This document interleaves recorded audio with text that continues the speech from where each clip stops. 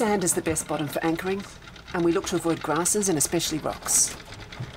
Once the anchor hits the bottom, we reverse to lay the chain out, away from the anchor. There's a chain counter in the cockpit, and Richard lets me know when we have enough chain out. I can see that the anchor is gripped because the chain starts to rise and we stop moving. Richard continues to reverse against the anchor to set it securely in the sand. Then I put the snubber on. The snubber is a rope which hooks onto the anchor chain.